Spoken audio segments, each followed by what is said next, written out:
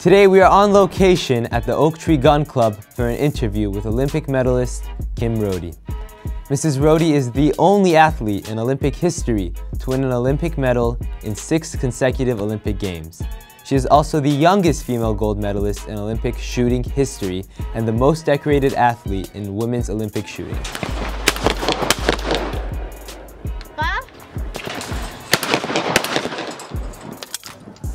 We got to witness one of Kim Rhode's practices and got to experience what shooting is really like.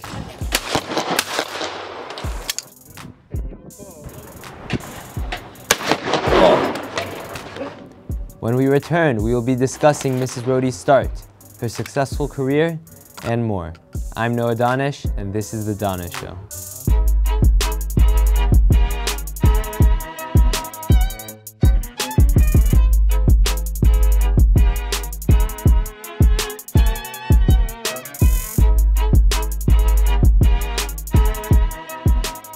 So much for joining me. Thanks for having me. Mrs. Rhode is a six-time Olympian, has gone to six Olympics and won six medals, so it's really amazing.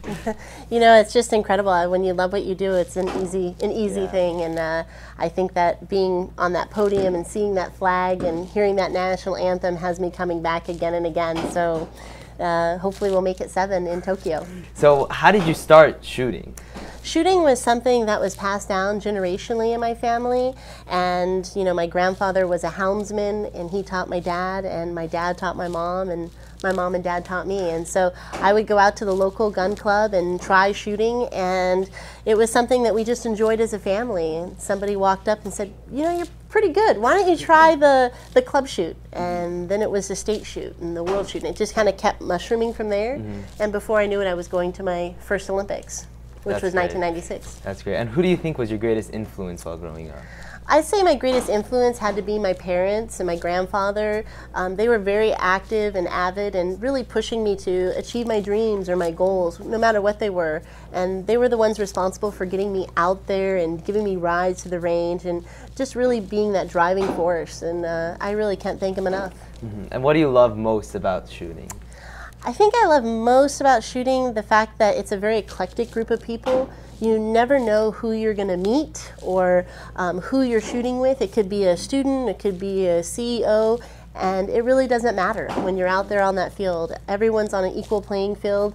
They're just really enjoying um, the outdoors and, and also the camaraderie that we have and the places that you get to go to do it. So I think that's probably the, the number one thing for me. And throughout your career, what do you think have been the biggest challenges you've, you've had to overcome?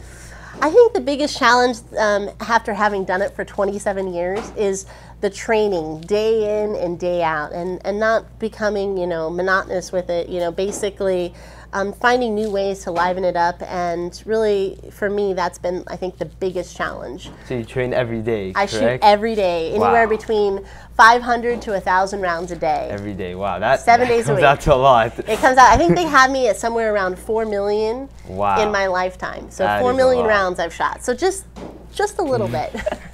and then when did you make it first on the uh, Olympic American team? Well, I was 16 when I went to my first Olympics in 1996, and I was the youngest person to ever go for the United States and for shotgun. So um, it's been a whirlwind. Um, I've competed in Atlanta, Sydney, Athens, Beijing, London, and most recently in Rio. Wow. And now I'm 37. They say that I have realistically nine more Olympics that I could possibly compete in. Um, if I'm going to go for the oldest medalist in the History Olympics, who happened to be a shooter. His wow. name was Oscar Swahn. He was 72. So I always kind of jokingly say I have a few more in me, but uh, I'm just going to take it one Olympics at a time. Mm -hmm. And then, how many people are on the American team? Boy, it fluctuates as to the amount of people we have on the team. Um, usually, it depends upon what type of competition we're going to go to. So, at this Olympics, we could take two women in both skeet and bunker, and we could take, um, you know, up to two men in, in skeet and as well as in doubles trap and in bunker. So it just kind of fluctuates, depends. At World Cups, we take three in each event and we also have a junior team. So as you can tell, the, the teams can get very large yes. and very big, and that's just in shotgun. That doesn't include rifle and pistol and all the other events that we have in the Olympics. And what are the co competitions that you compete in, like a double trap, and what are those? Well, I've shot all the shotgun events in the Olympics. Wow. So I've competed in international skeet, uh, bunker doubles, and um, as well as bunker itself. So to give you an idea, international skeet, we have a high and a low. You have seven stations set in a half semicircle with an eight station being in the middle. Mm -hmm. And you shoot singles and doubles depending on which station you're on. You have to start with a gun at your hip. And when you call pull, the bird can come out the second you call pull or anywhere in between. So it's at random. Mm -hmm. And you can't move until the bird is in the air. Wow and the bird's going about 60 miles an hour, somewhere in there, 50, mm -hmm. 60 miles an hour. So um, it's literally, you have that much time to mount, get on the bird, and actually break it. Mm-hmm. And the birds actually cross in front of you. Um, whereas in bunker or doubles, it's shot on a bunker field. You have a 15 machines inlaid underground, and you have three machines to every one station in bunker. There are five stations set about 22 yards back. And when you call pull, you don't know which of the three machines it's oh, going to wow. throw. And the birds are thrown about the same speed. But the interesting thing about it is you get two shots at every one target, and you can start with the gun mounted. Um, and you basically kind of rotate around to get that. Mm -hmm. Doubles is shot on the same field, um, but you get two targets at a time you only use the three middle machines and there's three different settings and they oscillate. But the interesting thing about it is, is that in bunker and bunker doubles, the targets go out away from you. Oh. So there's no crossing targets. It's completely different. Um, but all of them are very challenging and bring something to the table. And then you also hit, you tied a record for hitting 99 out of 100 of the clays. How did that feel? You know, it's amazing when you're out there and you're competing and you have the crowd behind you um, you know, all you can hear is your heart beating. You're so focused on that target. Uh, it's we call it being in the zone. We basically are slowing it down, trying to see that target rotate in the air.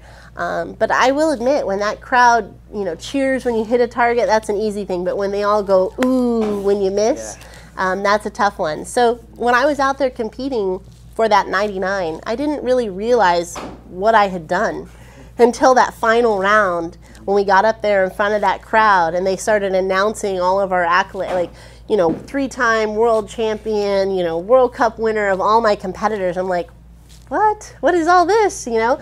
And then they were announcing our scores along with that, you know, going for a world record 99. And, you know, those types of things don't really help you to calm down. And it was at that moment that I realized that I'm going for this record. And then it was like my knees were knocking and just don't miss. And I thankfully um, made it through the round with a perfect 25 to walk away with that record. So incredible. The crowd behind me went crazy, and that's that's when I knew I had. I'd won the gold and had set this record. So that's pretty difficult to be able to do that. What do you think are some of the most important skills for a shooter to have? There's a lot of things that go into shooting. So muscle memory, focus, hand-eye coordination, being able to read your elements, so the wind, the lighting, the conditions that you're being put in, um, and what it, how that is going to affect the target, and how are you going to be able to see that target off the background. So we really try to put ourselves in as many different, you know, um, I guess, elements and different backgrounds and different types of weather um, to better, you know, prepare ourselves for what may lay ahead or what might lie ahead. And you just came back from Rio recently for the Olympics. What was that like? Rio was incredible. Uh, upon arrival, we were kind of nervous. We'd heard all the reports, you know, about Zika and all the things. Um, truthfully, I, I, only saw like maybe one mosquito. Uh, the village was beautiful. The beaches were incredible, uh, and the people were very, very sweet. I, I, mean, it was amazing, amazing Olympics. Um, I think it'll go down um, with a lot of uh, pizzazz. I think you know Rio really brings it to the to the to the table, and uh, the culture and everything was fantastic. We had a we had a great time. Went and saw all the different venues and different events, and uh, of course we had a great competition. I walked away with the bronze, yeah, so wow, that, you know medal. we can't complain. uh, but yeah, it, it, was great. It was great, and I, I, really love the fact that everybody pulled together to to make it come together and be as successful as it was. What was your favorite part of Brazil? I'd have to say the beaches. I mean, come on. I mean, I love the competition. Competition venue is incredible, uh, but the beaches. I mean, I could have.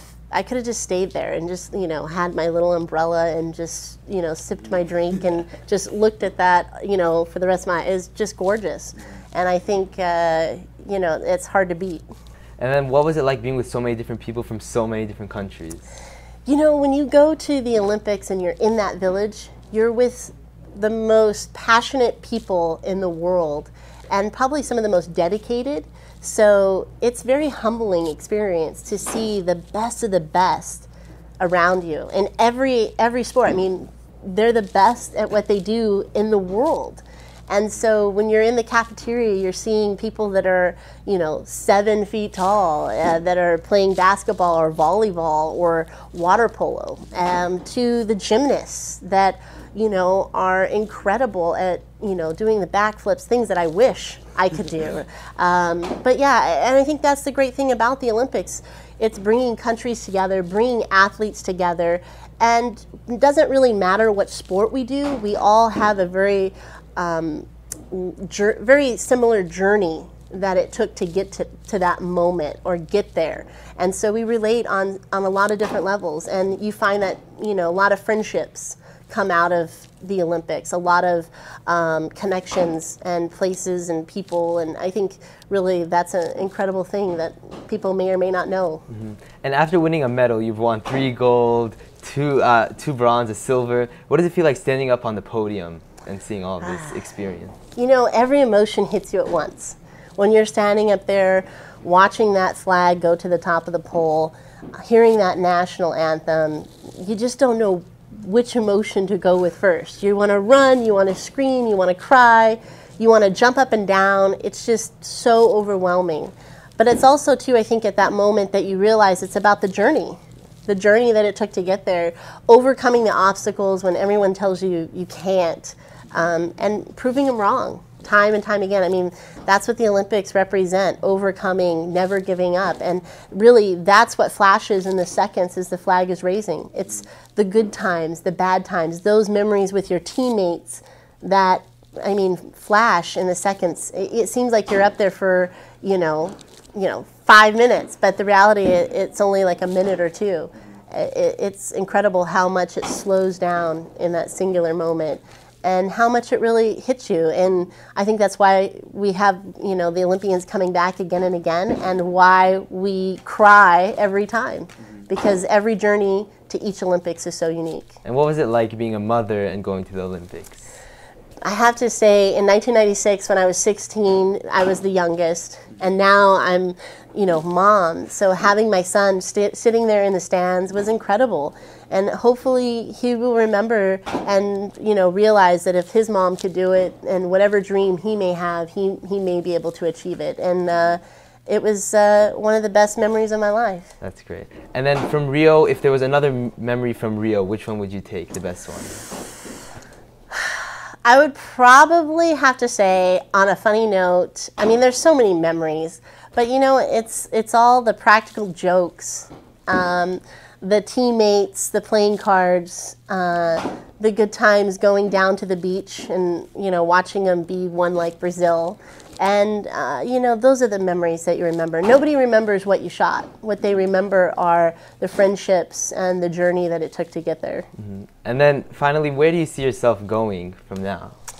Well, hopefully Tokyo. Um, you know, I've got four years uh, to, to get to Tokyo, but I mean, there's a lot of things um, for me right now. I'm, I'm, working on a new property that I just bought. I'm training every day. I still have World Cups, World Championships. But we'll see. We'll see. And my last question is what is the best advice you have ever received? Oh, the best advice I have ever received is to keep my head down and don't miss. No. um, you know, I, I, think, you know, the, some of the best advice I've received is to enjoy every minute of it. Um, you know, you never know when this is going to be over. And so when you go to these places and meet these people, you know, don't take it for granted. Um, get out there, dance, you know, go skydiving, um, do everything you can because it's not a dress rehearsal. Thank you so much for joining me. That was really great. Thank you. And we look forward to seeing you at the 2020 Olympics. Thank you. Thank you for watching The Don Show, and we'll see you next time.